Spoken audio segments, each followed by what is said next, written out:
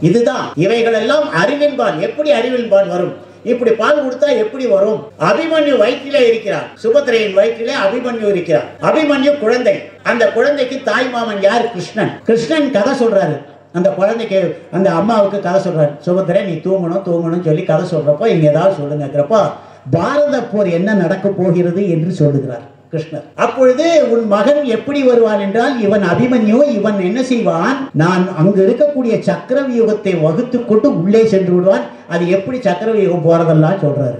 அந்த அம்மா தூங்கிடுது சுபத்ரா தூங்கிட்டு இருக்கு. அவன் எப்படி வெளியே வருவான் தெரியுமா? அப்படிங்கிறப்ப அந்த குழந்தை வயிற்றுக்குள்ள வந்து ஆ அப்படி ஆஹா இது முடிச்சுக்கிடுச்சு அல்பாயுசு அப்படின்னு. ஆகையினால் அந்த குழந்தைக்கு சக்கரவியத்தை உழைத்துக் கொண்டு உள்ளே போக தெரிந்த குழந்தைக்கு வெளியில் வர தெரியவில்லை. அபிமன்யம் பாதியிலே இறந்து போறோம் ஏன் கருவிலே திருவுடையதாக இருந்தது? இதை எப்படி நம்புறது? ரஷ்யாவில் விஞ்ஞானி ஏற்பாடு பண்ணார். ஒரு குழந்தையை தனி அறையில் வைத்து அந்த குழந்தைக்கு வெளியே அந்த தாயை கர்ப்பத்துடன் உள்ளே வைத்து வெளியே சில சாண்டிங்ல மந்திரங்களை சொல்லும் பொழுது அவர்களுக்குரிய ரஷ்யாவில் இருக்கிறது. பாவ்லோன்னு பேர். அவர் சொல்றாரு சொல்ல சொல்ல கொஞ்ச நாள் கழிச்சு பார்த்தா அந்த குழந்தை இதெல்லாம் கேட்டதை திரும்ப சொல்றது. கருவிலே திரு அதனால தான் என்ன சொல்லுவோம்? நம்ம குழந்தையா இருக்கும்பொழுது பொழுது கணவன் என்ன செய்யணும்? வயிற்றுல கா க வாயை வச்சு ஓம் நம நாராயணா ஓம் நமச்சிவாயா எது உனக்கு பிடிக்குதோ ஜீசஸ் அல்லா எதை வேணாலும் சொல்லு. உனக்கு பிடித்த கடவுள் நாமத்தை சொல்லு. நல்லதை சொல்லி நல்லவனாக வர வேண்டும். வல்லவனாக வர வேண்டும் என்று சொல்லு. நிச்சயம் அது வரும். அதான் அன்னையின் வளர்ப்பினிலே. நல்ல குழந்தைகள் நல்ல குழந்தைகள் அன்னை வளர்ப்பினிலே.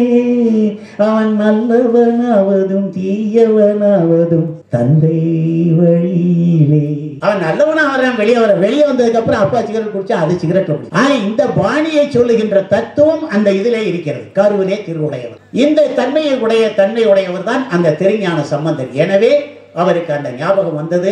பன்றிக்கு அவர் கால் ஊற்றினார் எனவே அந்த பகுதி எனக்கு ரொம்ப கடவுள் உயர்ந்த நிலையிலிருந்து தாழ்ந்த நிலையில் இறங்கி வருகிறார். அப்படிப்பட்ட தன்மை உடையவர் பரமசிவன் என்று சொல்லிக்கொண்டு நேரம் இருக்கா என்னன்னு தெரியல. இருந்தாலும் சில விஷயங்களை சொல்ல வேண்டும். அப்படியானால் இந்த மாதிரி நீ இறைவனை நினைக்க வேண்டும் என்றால் உனக்கு ஆசை வர வேண்டும். ஒரு பொருளின் மீது ஆசை வந்தால் தான் நாம் பொருளை வாங்க முடியும். கடையில எவ்வளவு புடவைகள் இருந்தாலும் எவ்வளவு புடவைகள் இருக்கட்டும் ஒரு மாலுக்குள்ள கிட்டத்தட்ட ஒரு ரெண்டாயிரம் மூவாயிரம் புடவை நாலாயிரம் புடவை பத்தாயிரம் புடவை இருந்தாலும் அதுல கணவனுக்கு எது பிடிக்காதோ அதுதான் கரெக்டா மனைவிக்கு பிடிக்கும். தேடி தேடி பார்த்து இந்த கலர் பிடிக்குதா பிடிக்கல. அப்ப இதை எடுத்து வைப்பா எனக்கு இதுதான் வேணும். இது ஒரு ஒற்றுமை. ஆனா கணவன் என்ன செய்வான்னா தன் மனைவியை நினைத்து பார்த்து டக்கென்று போவான் ஒரே புடவை படக்குன்னு எடுத்துட்டு வந்துடுவான் எப்படி சார் முடியும்? என்னுடைய அனுபவம். இது முடிய என் மனைவி ஜவுளி கடைக்கு வந்ததே கிடையாது. நகை கடைக்கு வந்தது கிடையாது. பணம் கேட்டு வந்தது கிடையாது. இன்னும் ஏடிஎம் எப்படி எடுக்கணும்னு தெரியாது. இன்னைக்கு செல்போன் எப்படி உபயோகிக்கணும்னு தெரியாது. எனக்கு அது தேவையில்லை. நீங்க கொண்டு வந்து நான் போவேன் நினைச்சு பாவேன். ஒரு புடவை இந்த கலர் இது மேட்ச் ஓகே அதுக்காக ஆண் அடிமை பெண் அடிமை கிடையாது. என்னுடைய போக்கு அவளுடைய போக்கை நான் புரிந்து கொண்டேன். ஃப்ரீக்குவன்சி அலைன்ஸ் அலோ இது இருக்குல்ல வேவ் லென்த் அது எங்கிட்ட நல்லா இருக்க எடுத்துட்டோம். ஆனால் இப்படி பல புடவைகள் இருந்தாலும் ஒரு புடவையை தேர்ந்தெடுப்பதற்கு அவர்கள் ஆய்ந்து ஆய்ந்து பார்ப்பார்கள். ஏமா இவ்வளவு புடவையை புருஷன் பக்கத்துல இருந்து கேட்கிறாரு ஏமா புடவையை இவ்வளவு பார்த்து எடுக்கிறியே?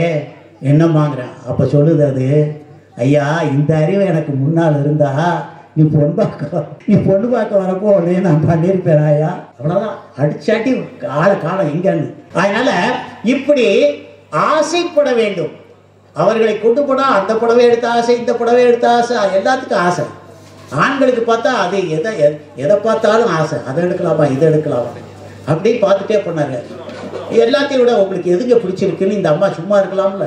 கணவர்கிட்ட கேட்டார் இந்த திசையில் எது பிடிக்குதுன்னு இந்த அந்த பொண்ணு இருக்குவாரு அது நான் விட்டாரு வாட்டாரு இனி அந்த ஆள் கேட்பாரா மறந்து?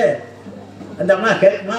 எதுக்கு சொல்கிறேன்னா மனதறிந்து எதை செய்கிறோமோ அதில் ஒன்று பிடித்ததை நாம் எடுக்கணும் ஆகினால் இறைவனிடம் நீ என்ன செய்ய வேண்டும்? முதல்ல ஆசை வைக்கணும். அந்த ஆசை இருக்கணும் பற்றுக பற்றற்றான் பற்றினை. பற்றுக நீ பற்ற வேண்டும். யாரை பற்ற வேண்டும்? பற்று என்றால் ஆசை. யாரை பற்ற வேண்டும்? பற்றற்றவன் பற்று. பற்று நீக்கியவனுடைய திருவடி. பற்று என்றால் திருவடி. பற்று நீங்கியவனுடைய திருவடியை நீ பற்றினால் உனக்குள்ள பற்று நீங்க ஆக நாம முதல்ல ஆசைப்படணும். எல்லா பொருளுக்கும் ஆசைப்படுங்கள். எல்லாவற்றிற்கும் ஆசைப்படணும். இது வேணும் அது வேணும்னு ஆசைப்பட்டா தான் இறைவன் மீது ஆசை